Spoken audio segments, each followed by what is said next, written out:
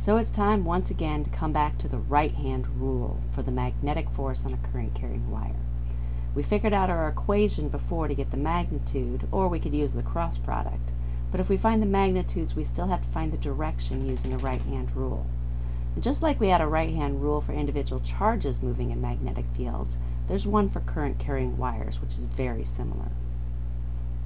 If I go back to my conceptual view, we want to remember that the current is defined as the direction opposite that the electrons are going. It's as if it was positive charges flowing in that direction. Now when we looked at our conceptual view, we described it in terms of the force on a negatively charged particle moving in the negative direction. But now we want to describe it just in terms of our current.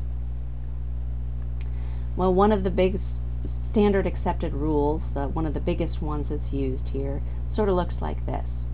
Your thumb doesn't represent the velocity of the charged particles anymore, it represents the direction of the current. And so whether we look at that at the hand or we look at it in terms of the wire, your thumb is going to point along the wire in the direction that the current is flowing through. Our four fingers still represent the direction of the magnetic field lines, and we want to keep those nice and flat with where our thumb is. And once again, the palm of the hand is going to point in the direction of the force on that wire. So we've got our current, our magnetic field, and our force at right angles to one another. Here's just another example showing you from another perspective. Again, your fingers are pointing along the direction of the magnetic field, and your thumb is pointing along the direction of the current. And one of the nice things about this particular diagram is it's reminding you that that doesn't have to be at a right angle.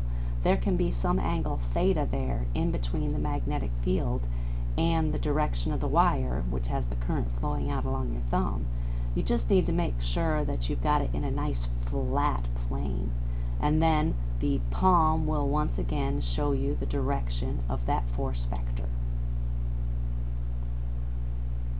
You're still going to need some practice, so take a look at the next video clip which gives you uh, several different examples of using your right hand to figure out the direction of the force on a current carrying wire.